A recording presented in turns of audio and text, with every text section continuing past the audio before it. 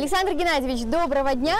А, Расскажите, на какой глубине сейчас работает Олеся и вообще при каких условиях могут вестись работы? Потому что я знаю, что метро это большое напряжение и все не так просто, как кажется, может быть, с первого взгляда. Значит, э, глубина заложения котлована, где мы сейчас с вами находимся, составляет 12 метров.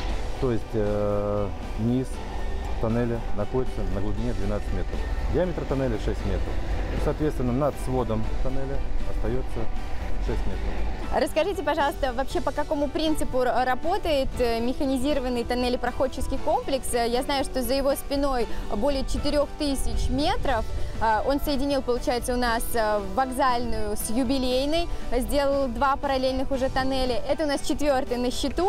А, И вот расскажите, читала, что целый месяц уходит на монтаж и демонтаж самого комплекса, чтобы переставить его с места на место. Почему так сложно? Начну э, с э, конструкции этого комплекса.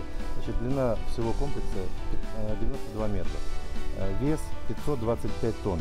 Э, В состав этого комплекса входят э, крупногабаритные э, высокого тоннажа элементы, поэтому демонтаж их происходит большегрузными кранами. А Транспортировка происходит только ночью.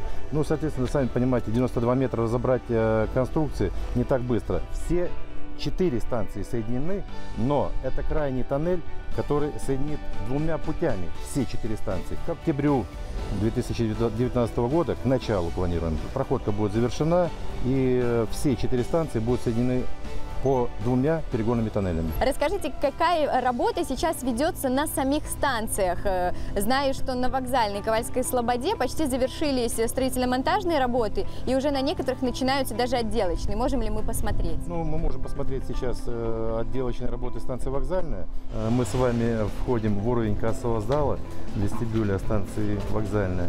Значит, здесь будет осуществляться пропуск пешеходов на вход и выход, будут стоять турникеты. Э, Значит, справа от нас блок служебных помещений, будущих помещений метрополитена. Прямо у нас перед нами будет находиться лифт. Александр Геннадьевич, так что, мы уже на станции метро? Да, действительно, это платформенный участок станции вокзальная. Значит, э, в данный момент мы вошли в него с, с территории вестибюля. Слева от нас находятся ступени укрытые, ступени эскалаторов, которые будут вести с уровня платформы в уровень пешеходных тоннелей, по которым будет происходить сообщение э, пассажиров, прибывающих на станцию юбилейная.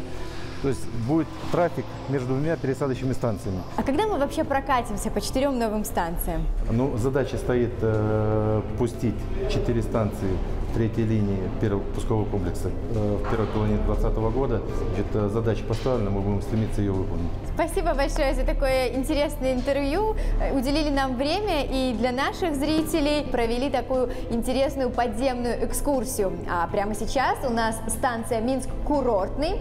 И я расскажу, как преобразились релакс-зоны столицы.